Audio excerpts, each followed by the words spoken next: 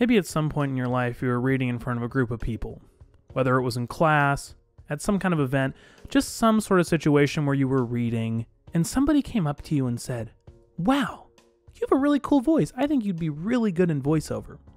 You thought to yourself, Well, I think I always have had a good voice. I wonder why I'm not in that industry. Hmm. It's probably just a bunch of Hollywood people. You have to be really famous, I'm guessing, and really lucky to get in. Ah, well, it's thanks for the compliment, but I'm not going to look into that. That's not really something I'm interested in at this time because that just sounds too hard. Well, if that was your response, you're probably not going to go anywhere in this industry. But if you received a similar compliment, you thought to yourself, well, I don't know much about that industry, but I'd be interested. I'm here to help you. Here to help you break into the voiceover, voice acting community into 2019, which we're quickly approaching. And I'm going to give you my experience as somebody who's been doing this for the last nearly three years. I'm not necessarily living off the income that I've created from this business, but it's certainly been something, and I've learned a lot of what it takes to be able to be paid for this kind of work, what it takes to essentially create something that sounds professional, believable, and good, and ultimately do it consistently with work that continues. I'm Christian from Erickson Films. Different style of video today, guys. I'm using the Shure SM7B for a talking head. Let me know what you guys think of this format. Let's begin with the real basics. You need to learn to speak clearly. That means no mumbling. Growing up, I had a lot of problems with mumbling. I wasn't always the clearest speaker. People, even to this day, constantly have to ask me to repeat myself because I end up talking too fast, I end up slurring my words. This is a really common thing for a lot of people. When you're doing voiceover, though, or voice acting, you need to learn to not do this. That means practicing enunciating your words, like I am right now. This might sound a little bit unnatural, and a little bit of that is that I often, like I said, mumble. However, when I'm doing any kind of recording, I learn to speak clearly, enunciating. So, right off the bat, whatever kind of voiceover, voice acting thing you'd like to get into, that is fundamental. Learn to speak clearly. Next thing you should do is practice reading out loud. That means next time you're reading a book, and if you're not reading books, you should start reading books because that's going to be really important for this industry. Try reading it out loud. Grab your novel, grab whatever book you're reading, look at the pages, read them out loud. You're not going to do that well at first. You'll probably make a lot of mistakes, but the key is to keep doing it. Before I got into voiceover, I would get called on to read in class back when I was in high school. I would make a lot of mistakes. I hated it. I hated being called on. I've always been a fairly anxious person, so the idea that I was being called on to read in front of an audience just made me so nervous. I would make tons of mistakes. And the minute I was over, or the minute the experience was over, I was just so relieved. When I got into voiceover, I realized I was going to have to learn to do better at that. So I got out some books, and I've had the opportunity with my grandfather to be able to read out loud these last three years, just practicing. I've been doing it for long enough now that now I love to read in class. Now that I'm in college, I'll raise my hand and I'll offer to read because it's honestly not an effort for me anymore. It's really easy. I can just read pages and pages on end without making more than a couple mistakes. I think a lot of it has to do with confidence, but another big part of it's just practice. It's not always the most natural thing to read out loud, translating from words to actual speaking. Um, but if you can learn to do this, it's going to make your life as a voiceover person a lot easier. Because while you're recording, every time you make a mistake, you're going to have to go redo that line. So, the less mistakes you make, the faster you'll get work done. That sort of leads me into my next point. If you're looking into voiceover voice acting, you're going to have to realize that the beginning is narration, reading things out loud.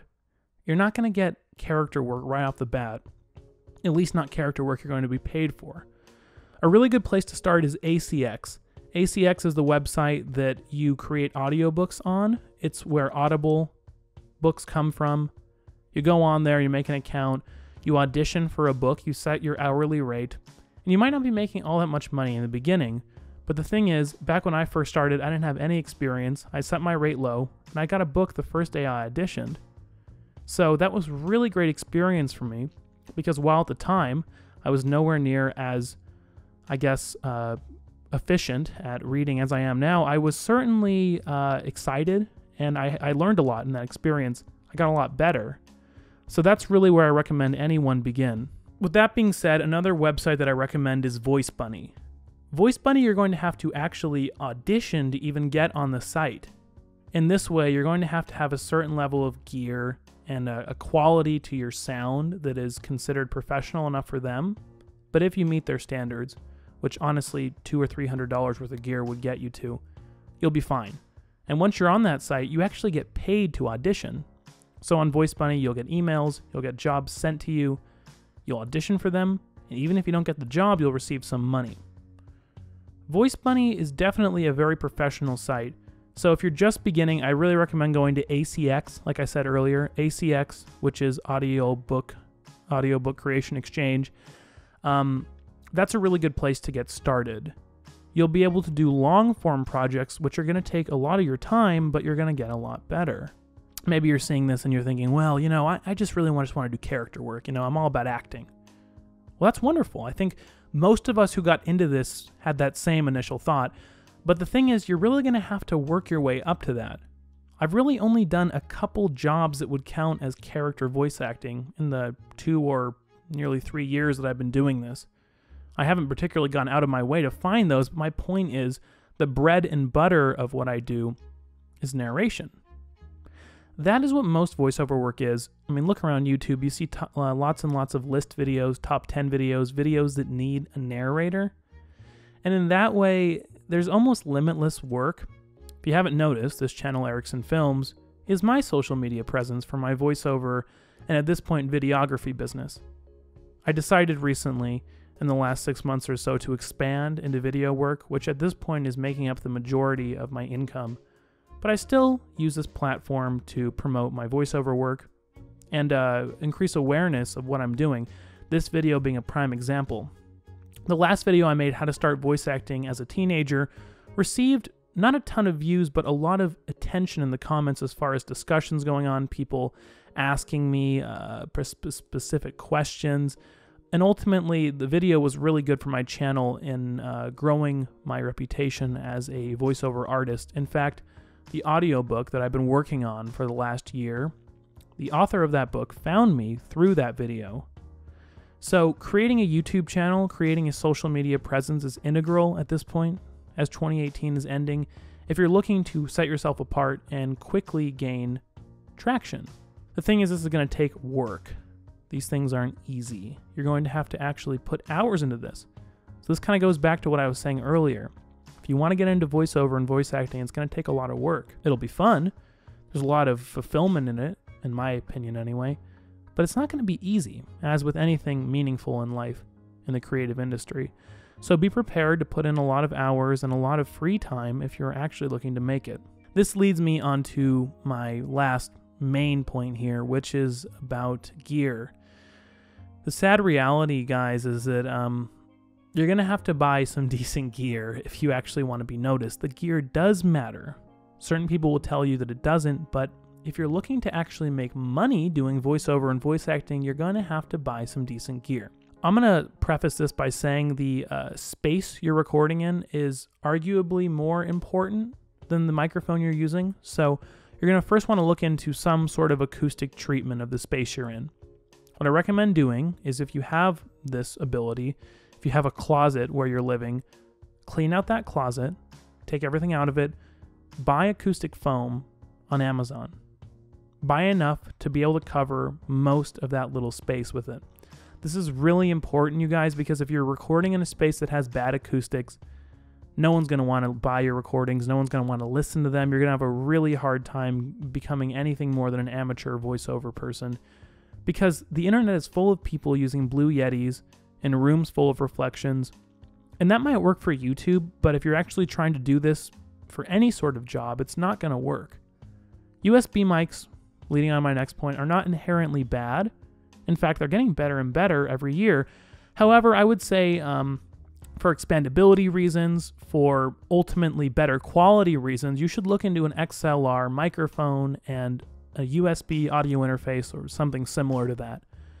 A really great introductory audio interface is the Audient ID4. Audient's a great company. I've reviewed a couple of their interfaces, and I think ultimately they make the best bang for your buck audio interfaces. The Audient ID4 costs $200. The microphone I would recommend to pair with it would be the AT2020 from Audio Technica, which comes in at around 100 bucks. Those two will create a really quality professional sound, which I think you'd be really amazed at how good that actually sounds when you get that uh, that pair, that combo there. And that, um, as I said earlier, is going to be dependent on the space you're in, the sound you're going to be able to get from that. If you're in a space though that you've treated, or that it's least at least a space that's fairly uh, dead sounding, it's not full of echoes and reflections, you'll be able to get some really nice sounding results with that combo that I just mentioned. I'm going to put the links in the description to that gear. So, in that sense, I think that if you're willing to actually put in a lot of time, willing to put in some money into the gear, willing to practice getting better as far as reading, getting better with the way you enunciate words, becoming more confident generally, and also building a personal brand on a place like YouTube, Instagram, Twitter, I don't see any reason you won't be able to have some success in this industry.